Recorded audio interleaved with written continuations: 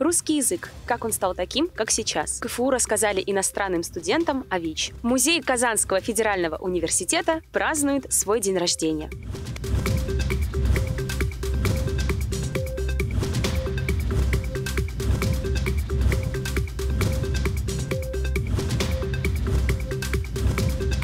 Всем привет! В эфире «Универ новости», а в студии Ксения Голубева.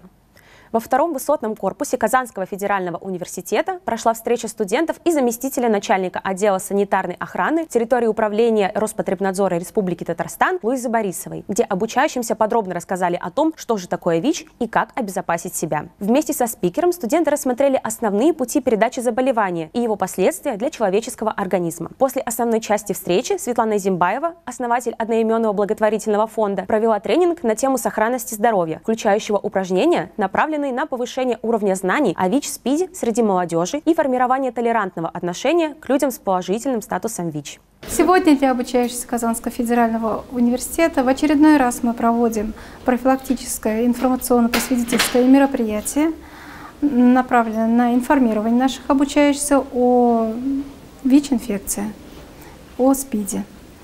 Нами приглашены для проведения данного мероприятия сотрудники Роспотребнадзора, а также специалист Центра СПИД Светлана Изамбаева. На тренинге мне важно донести до каждого такое послание о сохранении собственного здоровья, потому что ВИЧ-инфекция – это не ковид, его невозможно получить воздушно-капельным путем. Здесь нужна особая ответственность и, естественно, чекап своего здоровья. Ежегодное планированное тестирование, ежегодный чекап, ежегодное соблюдение своего собственного здоровья и сделать все для того, чтобы в их жизни ВИЧ не произошел. Шоуруме Высшей школы журналистики и медиакоммуникации Казанского федерального университета прошла встреча студентов с представителем волонтерского движения соревнований «Игры будущего-2024». Международные состязания пройдут по 21 инновационной дисциплине. Каждая из них олицетворяет концепцию phygital, то есть объединяет физическую культуру и киберспорт или VR и AR-технологию, а значит проверяет навыки атлетов в двух до сих пор мало связанных измерениях. Основной площадкой проведения игр будущего в Казани станет выставочный комплекс «Казань-Экспо». Также для проведения игр планируется планируется задействовать как уже имеющиеся, так и новые спортивные объекты, а также Иннополис. Мы пришли в данный институт, чтобы а, подобрать именно профильных ребят, которым будет интересно выполнять свои функциональные обязанности, которые будут а, в каком-то роде практиковать свои навыки, которые они получают здесь, а, в университете, в стенах Альма-Матер, уже в поле и смогут немножечко да, понять, в чем им предстоит себя проявлять в будущем. В рамках Казанского международного лингвистического саммита в Институте филологии и межкультурной коммуникации Казанского федерального университета стартовал лингвометодический фестиваль «Языковые тренды и методические инновации-2023». В течение трех дней для учителей и преподавателей русского, родных и иностранных языков будут проведены семинары, мастер-классы, ярмарки методических идей и практикумов от руководителей системы образования, ведущих ученых-методистов, учителей-новаторов и представителей учительских ассоциаций. Как прошел первый день, узнаете в сюжете Кристины Отекиной. Первый день лингвометодического фестиваля был посвящен русскому языку и литературе. С приветственным словом выступили заместитель директора по научной деятельности Института филологии и межкультурных коммуникаций Искандер Ермакеев, начальник отдела развития дополнительного профессионального образования Министерства образования и науки Республики Татарстан Роза Шаяхметова и заместитель председателя комиссии по сохранению и укреплению традиционных российских духовно-нравственных ценностей заслуженный учитель Республики Татарстан Ирина Александровская. Также на мероприятии были подведены итоги педагогического диктанта, прошедшего 23 сентября на базе КФУ. Роза Шаяхметова лично наградила заслуженных преподавателей, учителей, студентов и школьников, которые стали победителями проекта «Педагогические классы». Мы проводим очно для того, чтобы это максимально было полезно.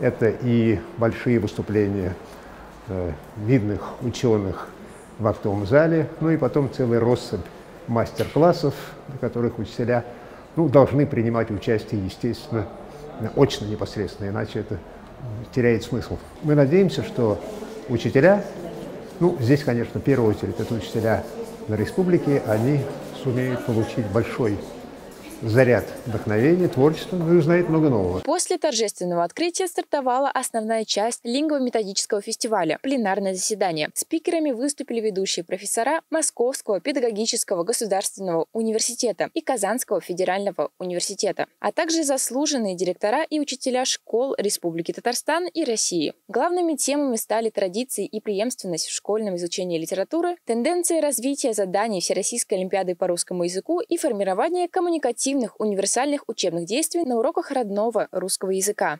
Это мероприятие нацелено на то, чтобы собрать на одной площадке самых опытных мастеров э, в преподавании русского языка и литературы, а также пригласить молодых специалистов, которые только начинают работать в школе. И, конечно, мы хотим, чтобы эта площадка стала э, тем местом, которое объединяет этих специалистов. После пленарного заседания в аудиториях Института филологии и межкультурной коммуникации проходили мастер-классы от заслуженных учителей и преподавателей московских и казанских образовательных учреждений. Следующие два дня фестиваля будут не менее интересными. Они посвящены иностранному и татарскому языкам. Напомним, что Международный лингвистический саммит в Казанском федеральном университете проходит с 2020 года. С каждым годом масштаб мероприятия набирает обороты. Количество участников и спикеров не перестает расти. Кристина Тёкина, Аделя Файзу, Файзулина, Универновости. В Институте фундаментальной медицины и биологии прошел семинар для иностранных студентов, посвященный Международному дню борьбы со СПИДом.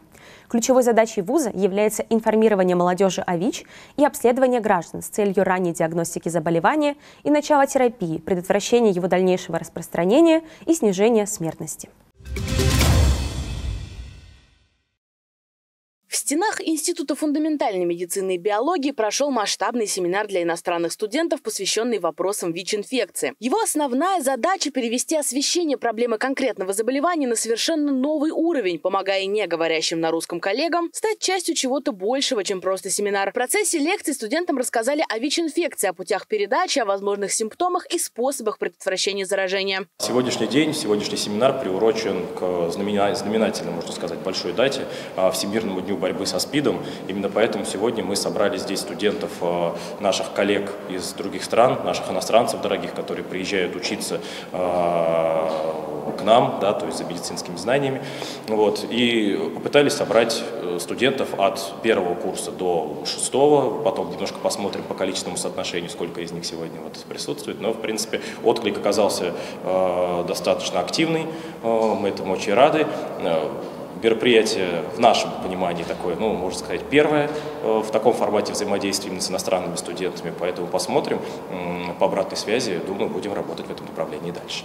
Во встрече также принимала участие доцент кафедры внутренних болезней Института фундаментальной медицины и биологии Казанского федерального университета Альфия Олейник, которая ответила на все интересующие вопросы студентов, которые возникли уже после бурного обсуждения. Она также поделилась своим мнением об актуальности проблем ВИЧ-положительных людей на данный момент и подняла вопрос вопрос, касающийся отношения общества к людям, страдающим этой болезнью. Частое пренебрежение и страх должны уйти в прошлое и помочь каждому обрести поддержку в глазах окружающих. Надо дать понять людям, во-первых, что это важно, что мы не живем в каком-то мире, где ВИЧ-инфекции нет, хотя, может быть, мы не так часто слышим а, об этой теме со СМИ, да, это не так популярно, но надо дать людям понять, что мы живем в этой ситуации так или иначе.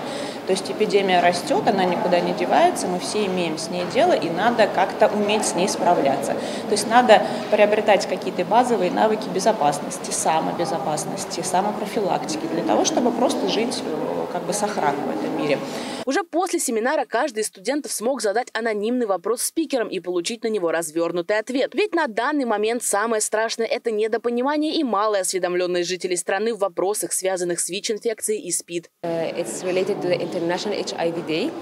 Uh, Он относится к Международному дню борьбы с ВИЧ-инфекцией. Обычно такие конференции проходят ежегодно для того, чтобы повысить осведомленность о ней и того, что делать, если вас заразили и как избежать заражения. Поэтому мы надеемся, что благодаря нашему стремлению и поддержке образования мы сможем создать будущее, где и uh, ВИЧ-положительные и здоровые люди жили вместе в комфортной обстановке. Напомним, что ежегодно 1 декабря в соответствии с решением Всемирной организации здравоохранения и Генеральной Генеральной Ассамблеи Организации Объединенных Наций, принятым в 1988 году, отмечается Всемирный день борьбы со СПИД. Символом этого дня является шелковая красная ленточка, сложенная в виде перевернутой буквы «В» петелькой, что символизирует борьбу, память о тех, кого унесла болезнь, надежду на изобретение лекарства для полного излечения и солидарность с теми, кто мужественно борется с заболеванием. Елизавета Газизянова, Аделя Файзулина, Универ Новости. Казанский федеральный университет недавно отметил свой день рождения.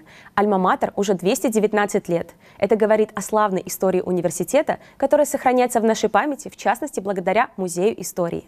44 года. Именно столько он хранит культурное наследие множества поколений и династий. С чего все начиналось и что имеем сегодня, расскажет наш корреспондент.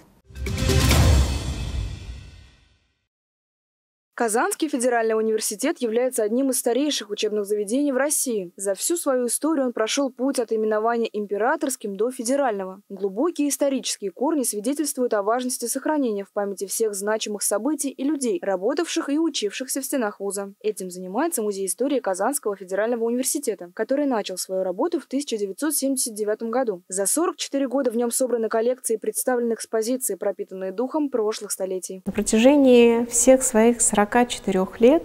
Это был один из самых известных музеев университета, самых посещаемых музеев университета. Именно с него всегда начинается знакомство молодых преподавателей с университетом, гостей с университетом и, конечно же, студентов с университетом, в который они поступили. Музею было выделено одно из самых примечательных помещений главного здания университета, и его история интересна не меньше, чем история самого вуза. В конце XVIII века на окраине Воскресенской улицы, а ныне Кремлевской, был выстроен двухэтажный дом для губернатора Казани, а в его западной части разместились классные комнаты и физический кабинет. После 1917 года она использовалась как физкультурный зал. В годы войны же в доме находился находилось общежитие для эвакуированных сотрудников Академии наук СССР из Москвы и Ленинграда. Позднее в здании располагался читальный зал библиотеки имени Николая Ивановича Лобачевского. Только в 1978 году началась работа над созданием музея, и на это ушло чуть больше года. И, наконец, 30 ноября 1979 года, в один из дней празднования юбилея университета, музей принял своих первых посетителей.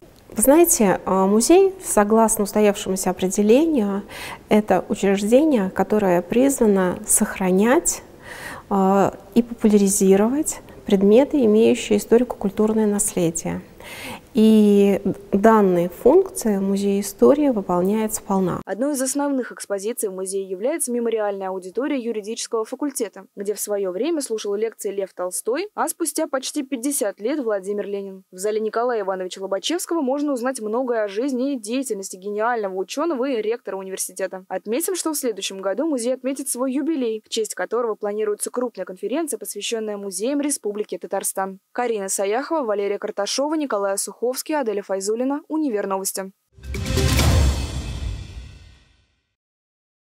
В Набережно-Челнинском институте Казанского федерального университета завершился очный этап международного конкурса научно-технических проектов в области автоматизации производственных процессов «Техностарт», который проводился при поддержке Министерства науки и высшего образования Российской Федерации. Сам конкурс стартовал еще в начале месяца. На первом заочном этапе заявки подали свыше 250 участников из разных городов страны, включая представителей Узбекистана. Конкурс включал три основных научных направления – автоматизация производства в автомобилестроении и тракторостроении, электростроении, автомобили с низким углеродным следом и интеллектуальный автомобиль, системы управления и безопасности. По итогам второго этапа число участников сократилось до 100, а в финал вышло всего 10 научно-технических проектов, три из которых стали абсолютными победителями, каждый в своем направлении. Оставшиеся участники заняли второе и третье призовые места. Подобные конкурсы, они очень полезны, их нужно ну, сделать на постоянной основе, наверное. И ребятам большая польза, особенно я вижу их заинтересованность, когда, например, скажем, им вручаются сертификаты участников. То есть э, глаза горят у ребят. Это очень хорошо. 3 декабря юридическое сообщество России ежегодно отмечает свой профессиональный праздник, в связи с чем сегодня, 30 ноября, в Императорском зале Казанского федерального университета прошло торжественное мероприятие, посвященное вручению юридической премии Республики Татарстан «Юрист года 2023» и Всероссийской юридической премии имени Габриэля Шершеневича. Подробнее о важнейшем событии, пожалуй, для каждого правоведа и законника расскажем в одном из наших следующих выпусков. На этом все. В студии была Ксения Голубева. Сюжеты из выпуска ты сможешь найти в наших социальных сетях, а также на сайте телеканала. До новых встреч! thank you